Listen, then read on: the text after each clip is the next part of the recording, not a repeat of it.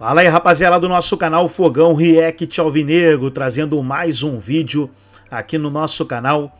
E nesse vídeo para falar das oitavas de final da Copa do Brasil 2024, onde tivemos aí o sorteio na CBF e Botafogo vai enfrentar o Bahia. Primeira partida acontecendo no Newton Santos e a segunda e decisiva será na Fonte Nova, estádio do tricolor baiano. Antes de soltar o vídeo aí trazendo os comentaristas analisando a partida, quero convidar você que ainda não é inscrito no nosso canal, se inscreva, ativa o sininho das notificações para você não perder nada. Tudo do Botafogo, tudo do Glorioso, você encontra aqui no nosso canal Fogão React Alvinegro. Então vamos aí para o vídeo e daqui a pouco nós estaremos de volta. O Braz falou sobre isso, já já a gente vai ouvir o Braz. Eu só não quero perder aqui o gancho da Copa do Brasil, porque falando em corneteiros, já tomei uma cornetada aqui, deixa eu mandar um abraço para ele. Fábio, um abraço para você, não tô mudando de assunto quando fala do Botafogo não, rapaz. É que é agora que a gente vai falar do Botafogo. Palmeiras e Botafogo já já. Sim. Mas por enquanto tem um outro confronto muito equilibrado, muito difícil de fazer previsão também, que é esse Botafogo e Bahia, assim. Vocês acham mais fácil de analisar antes da bola rolar do que Flamengo e Palmeiras? Ou para vocês é o mesmo nível de equilíbrio? Não. Eu acho mais fácil, eu, eu até me arriscaria a dizer aí que eu acho que é o Botafogo, por mais que o Favorito, Bahia... né? É, por mais que o Bahia, a gente sabe, tá ali, pô, tá chegando nos quatro ali, vai encostar, tá se esperando uma grande campanha para o Campeonato Brasileiro, time que está sempre se reforçando, entrou dinheiro, etc. tal, o trabalho do Rogério, ok. De vez em quando tem uns escorregões, né? Mas isso acontece. O Flamengo também, com Cuiabá, foi quanto no Maracanã? Ixi. Então, o Bahia, o Bahia, também perdeu em casa. A gente, ah, na Fonte Nova, caiu aqui, morreu e tal. E perdeu para o Cuiabá, não foi isso agora? No último uhum. jogo? Então acontece. Todo mundo está sujeito a isso. Enfim, o campeonato está muito difícil. E o jogo primeiro é em Botafogo, né? É no Rio, né? É Botafogo e Bahia. O jogo... É. é. bota a tela aí pra gente, É, eu acho favor, que a decisão é lá na Bahia. Cabeça, não. Mas eu ando... Mas a gente vai olhando é. Decisão é, é na Fonte Nova. A decisão é lá. É que, assim, eu ando, é não sei se eu ando empolgado aqui. demais com esse Botafogo. Ontem eu gostei demais dele também, de, contra o Palmeiras.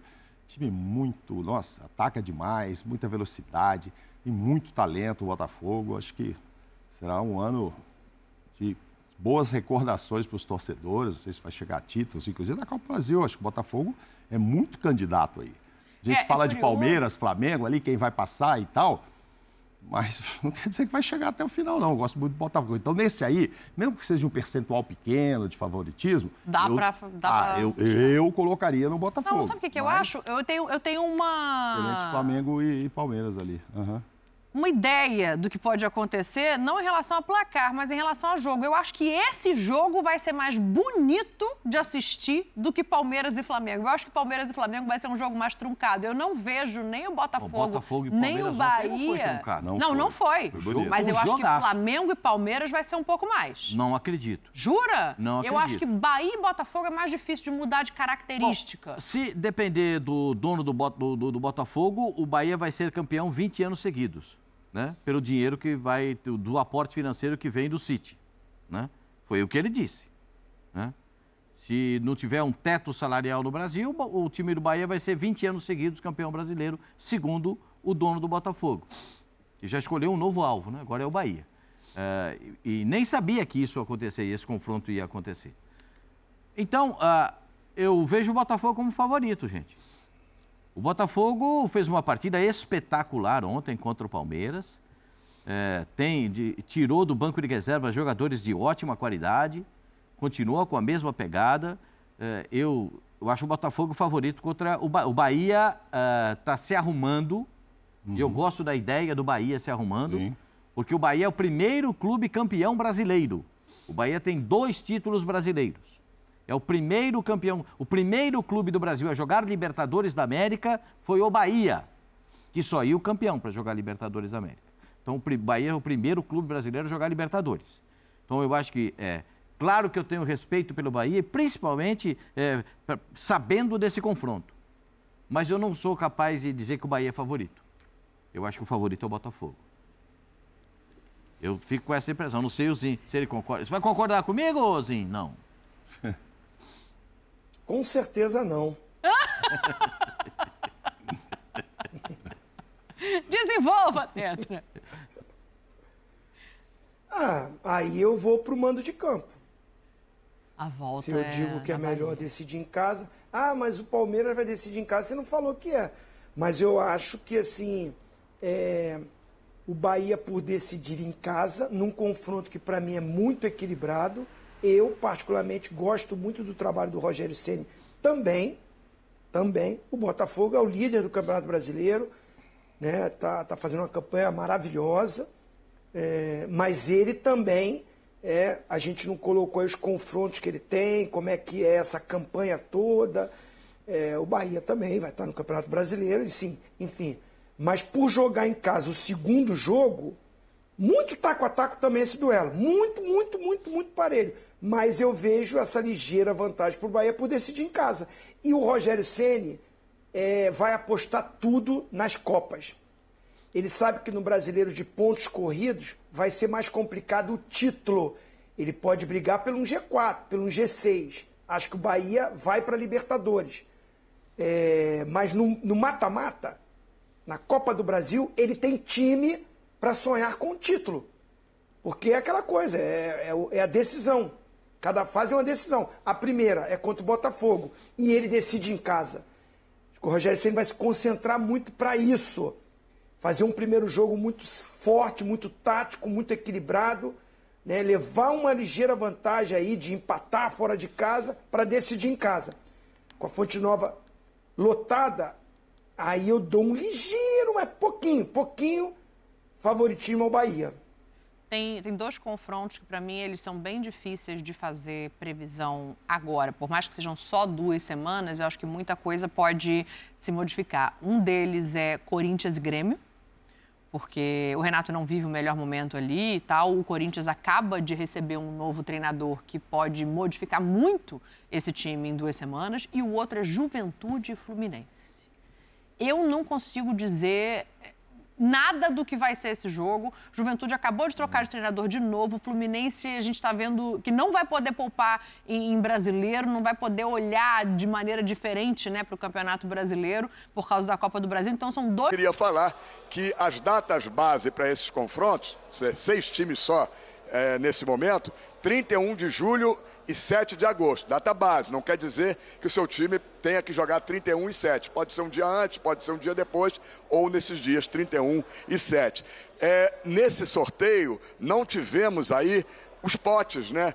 A separação por potes. Por isso, algumas surpresas aí. Podia ter qualquer confronto campeonato, é, é, duelos, né, confrontos estaduais e grandes confrontos, como a gente vai ver que surpreendeu todo mundo. Inclusive, eu ouço nas ruas aí todos os dias, quando tem sorteio aqui de Copa do Brasil, os torcedores dizem: ah, as bolinhas são viciadas, as bolinhas já são marcadas para não acontecerem os grandes confrontos logo na fase oitavas de final, quartas de final. E agora a gente vê que o confronto, que o sorteio é sério visto que o primeiro jogo sorteado foi logo dos dois times de maior potencial técnico, maior potencial financeiro do país, Flamengo e Palmeiras. Eu acho que só quem é Flamengo e Palmeiras não gostou desse confronto logo nas oitavas de final. Então vamos colocar aí na tela como foi o sorteio, quais os confrontos que teremos nessa fase oitavas de final. Começando então por Flamengo e Palmeiras.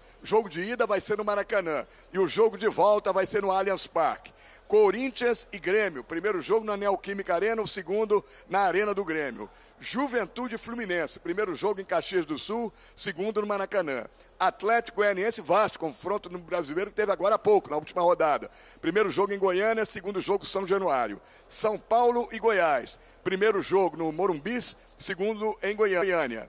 Botafogo e Bahia, outro jogão aí, como vocês citaram, entre os primeiros colocados do brasileiro. Primeiro jogo vai ser no estádio Newton Santos e o segundo na Arena Fonte Nova, em Salvador. Atlético Paranaense contra o Red Bull Bragantino. Primeiro jogo em Curitiba, segundo jogo em Bragança Paulista. E finalmente, CRB e Atlético Mineiro, primeiro jogo em Maceió, Alagoas, segundo jogo na Arena MRV do Atlético Mineiro. Lembramos que temos dois times que não pertencem à Série A, né? Que são as equipes do Goiás e do CRB. E três clubes gigantes que não estão nessa fase da Copa do Brasil. Um um time que nem participou da Copa do Brasil esse ano, o Santos Futebol Clube, lamentavelmente, através do Campeonato Paulista, ele não se classificou para a primeira fase da Copa do Brasil. O Cruzeiro, que foi eliminado na primeira fase pelo Souza, na Paraíba, e o Internacional, eliminado agora na fase anterior, na terceira fase, pelo Juventude de Caxias do Sul. A premiação, 3 milhões e 400 mil, todos os times já têm garantido por participar dessa fase oitavas de final. Quem passar para as quartas de final já vai receber mais 4 milhões 515 mil reais. Depois, na semifinal, 9 milhões 450 mil reais. O vice-campeão em bolsa, 31 milhões e 500 mil reais. E o campeão, vejam vocês, olha que quantia, a nível de Europa, 73 milhões e 500 mil reais. Logo depois do sorteio, nós ouvimos alguns presidentes e dirigentes né, que representaram seus clubes para falar do seu jogo adversário que, que lhes tocou. Vamos ouvi-los? É um adversário difícil, né? Jogar em Caxias é muito difícil, é, por várias questões. A Juventude é um time que está muito bem no Campeonato Brasileiro. Né? Enfim, a gente já no passado já enfrentamos o Juventude na Copa do Brasil em, em, em outras oportunidades. Numa delas, é, lá muitos anos atrás, em 99, não fomos bem sucedidos. Uh, então temos que respeitar o adversário, respeitar muito. Tough opponent. Um, I talked a lot about Bahia today. You know, they're well coached, they're ready, they're playing well, and um, you know, we're gonna have to watch like the rest of the world. It's up to the coach and the players. I'm just a fan. I have much money. Um, yeah, we talked about that as well. They do have a lot of money, yes. Então, todo respeito e atenção ao adversário que vem fazendo um bom ano. Né? Vem de bons anos anteriores também. Então, uh, jogar contra equipes do Nordeste sempre muito difícil também, sempre equipes muito intensas que jogam no calor da torcida. Então, respeito, né, é primordial para que a gente possa né, poder avançar né, para a próxima. Em relação ao Atlético Goianiense, é uma grande equipe. A gente sabe que o perfil é, do jogo é diferente de um campeonato brasileiro de pontos corridos. Então, a gente ali tem outras é, outros aspectos que são abordados dentro de um jogo de eliminatório e sempre com muito respeito ao Atlético Goianiense, que tem estrutura, tem um bom time, não vive um bom momento no Campeonato Brasileiro, mas o respeito é muito grande. Com relação ao segundo jogo em casa, é muito subjetivo, né? Porque depende muito do primeiro, do que acontece na primeira partida. É, e de uma forma muito particular mesmo, que cada um pensa de um jeito, eu sempre gostei de jogar o segundo jogo em casa. Mas, um exemplo, a Libertadores de 98, nós jogamos o segundo, decidimos fora. Ô Glaucia, queria só registrar, antes de devolver para vocês comentário aí o sorteio e os confrontos, registrar é, duas notas que eu quero dizer. Primeiro, muita gente deve estar pensando, não tem nenhum dirigente dos clubes de São Paulo para falar do, do, do, dos jogos, dos adversários. Não havia aqui nenhum presidente de clube paulista e os que estavam aqui representantes não quiseram falar ou se retiraram rapidamente. Dito isto, queria contar uma fofoca aqui de bastidores, que mais do que uma fofoca, é, cada um vai interpretar do jeito que quiser. Eu até perguntei isso para o John Textor ali na, na, na entrevista coletiva que ele deu depois. A apresentadora oficial do evento, antes de começar o sorteio, registrou os agradecimentos da CBF a todos os representantes de clubes, presidentes, dirigentes que estavam presentes. E não citou o nome de quem único que ela não citou, John Textor, o dono da SAF do Botafogo. Isso causou um rebuliço muito grande aqui entre os jornalistas. Será que foi proposital? Porque o John Textor está em guerra aí com a CBF, com o Palmeiras, com muita gente. Depois, eles ratificaram, pediram desculpas, citaram o nome dele. O próprio John Textor disse que acha que foi é, um fato por culpa dele, que ele não avisou que vinha, veio de última hora e por isso acabou não tendo o nome citado, mas que ele não se preocupava com isso, tinha muito mais, coisa muito mais importante para tratar. Mas queria deixar esse registro aí. Ficou o clima pesado aqui quando falou o nome de, falaram o nome de todos, menos do John Textor, Glaucia. Ó. Oh. Ó, o a hora que ele falou, vou trazer a fofoca. O, Renato, chegou até perto o, da olho, câmera. o olho do Renato brilha. o Renato é, o Renato é Só faltou desse. um bolinho de laranja Só, e, um o cafezinho. Cafezinho. Ó, o cafezinho do dia atrás todo dia É pra nós. isso. Só faltou o bolinho aqui, seu Cícero. Segura que a gente também já vai conversar é, de outros assuntos que você também falou aí com os dirigentes nesse sorteio. Cícero traz essa observação, né? Que não tínhamos nenhum ah, presidente de clube paulista. O Edu Afonso, inclusive, fazendo uma entrevista exclusiva com o Casares nesse momento. A gente vai trazer também aqui nesse Sport Center, deve repercutir naturalmente também essa questão de Copa do Brasil. A gente traz aqui na sequência do nosso Sport Center. Mas vamos dar uma repassada nesses confrontos definidos. É óbvio que esse Flamengo e Palmeiras é o que chama mais atenção. A gente até brincava aqui, né? É o primeiro. As duas primeiras bolinhas puxadas ali, mãozinha, o primeiro jogo resolvido foi esse. Claro que acho que o principal aí por todo o contexto, enfim. Mas também temos outros jogos equilibrados, jogos em que a gente olha para os lados e vê times de peso, mas num momento muito ruim, muito difícil. Tem muita coisa aí nessa, nessa Copa do Brasil e é agora, né? Fim de julho já a primeira, a primeira perna. Esse é um ponto importante. É, é, um ponto, né? Porque a gente não vai ter também muita. Já vai ser no momento em que vai, já vai encavalar de Copa do Brasil para brasileiro já no, no, segundo turno, já grudado em oitavas de final de Libertadores. Por exemplo, é, Flamengo e Palmeiras vão jogar três vezes no intervalo de 12 dias. É um Palmeiras e Flamengo a cada quatro dias o primeiro da Copa do Brasil, o retorno do Campeonato Brasileiro e o segundo da Copa do Brasil. E logo na sequência, o Palmeiras vai para dois duelos com o Botafogo pela Libertadores e o Flamengo para dois duelos contra o Bolívar pela Libertadores. Então, assim, além dos confrontos interessantes, vários deles por diferentes motivos, a hora que chegar o momento desses confrontos, a gente vai medir qual, qual o tamanho da prioridade que cada clube dá para a Copa do Brasil. Por exemplo, Corinthians e Grêmio são dois times que hoje ocupam a zona de rebaixamento. O Corinthians vai estar tá também esperando o confronto de Sul-Americana, o Grêmio vai estar tá esperando o confronto contra o Fluminense pela Libertadores. Será que algum deles vai tirar um pouco o pé na Copa do Brasil, porque a prioridade vai ser se salvar no Campeonato Brasileiro, porque eles precisam, e sobreviver nas competições sul-americanas, especialmente o Grêmio, porque é uma Libertadores? Então, é, a importância que cada clube vai dar para a Copa do Brasil talvez tenha uma interferência direta nas forças que serão colocadas em jogos tão equilibrados. E um outro aspecto interessante é que até o Pedrinho ele cita na hora de falar de jogar com o Atlético Goianiense que ele jogou ontem. Uhum. Nós vamos falar do jogo já já e vai pegar de novo o Atlético Goianiense. É a questão da, da, da característica de jogo, de enfrentamento. Acho que isso é muito legal a gente pontuar. A gente olha para a classificação do Campeonato Brasileiro, ah, não, esse está bem, esse está mal. Jogo eliminatório, estrategicamente, é um outro assunto. Estou é, muito curioso para ver, por exemplo, Palmeiras e Flamengo como vão se comportar num confronto que aí é eliminatório. Comparar, por exemplo, Palmeiras com o Botafogo ontem, que foi um jogo mais jogado, mais aberto. Eu acredito que em Libertadores o jogo vai mudar um pouco de característica. Por ser um confronto eliminatório, por você ter um risco de, é, do, do erro, do detalhe, te tirar da competição. No brasileiro, não. Ontem o Palmeiras perdeu do Botafogo dentro do, do, do, do Newton Santos. Pô, passa, você vai ter um jogo do retorno em casa, pode fazer três pontos também. Até falava na linha de passe ontem, é, vamos supor que o jogo de ontem fosse o jogo de ida da Libertadores. Sim. É, Botafogo e, e, Palmeiras, que vai ser no Rio de Janeiro. Se o Botafogo tivesse vencendo por 1 a 0 como de fato estava, será que na reta final o Abel colocaria o time tão à frente como ele colocou?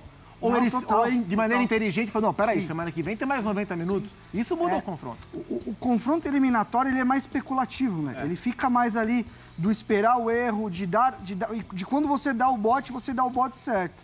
Então, acho que para todos os confrontos, eu de verdade, é, eu não consigo ver... Lógico que tem favoritos, muitos favoritos dentro desse confronto, mas eu não acho que ninguém vai passar com o pé nas costas, não. Eu acho que São até. Paulo, São Paulo e Atlético Mineiro pegaram os confrontos na teoria mais fáceis. Uhum, São os é. dois times de Série B. Eu ia falar o Galo, mas o CRB também é Galo. Então o Galo é. Mineiro contra o Galo Alagoano. É, e Goiás e CRB não fazem uma boa Série B. Então os, sim, o Goiás sim. até começou bem quando o Zanardi é. chegou lá, mas caiu. Mas, né? mas, o CRB vem de uma Copa do Nordeste sim, de eliminatória aonde precisou. Aí, aí a gente fala de contexto. Uhum. CRB e o Goiás, eles não têm motivo nenhum para ir para cima desses adversários. Ou seja, esses são confrontos que você já tem o contexto de estratégia já claro, faltando duas semanas. Você consegue olhar e falar: CRB vai defender, vai jogar dentro do seu estádio, é difícil, conseguir um golzinho, uma bola parada, alguma coisa, vai para BH e aí joga mais fechado ainda. É o tipo de jogo que, dependendo de como ele caminhar, ele pode complicar, ele pode uhum, te deixar sim. numa situação bem complexa. E Botafogo e Bahia vai ser um jogaço. Serão Também. dois jogaços, né? Sim, Tenho sim, muita expectativa sim. sobre esse confronto. E Palmeiras e Flamengo, desde a era em que eles se tornaram rivais, né, nesses últimos 10 anos, acho que é a primeira vez que eles se enfrentam num duelo eliminatório com ida e volta, porque eles se enfrentaram em Supercopa e na final da Libertadores. É a primeira. Então tá aí, pessoal, foi os comentaristas debatendo aí o sorteio das oitavas de final da Copa do Brasil 2024 e o Botafogo vai enfrentar o Bahia. Gostou do vídeo? Deixe o seu like, se inscreva no canal, ative o sininho das notificações. Forte abraço a todos e até o nosso próximo vídeo aqui no nosso canal Fogão React Alvinegro.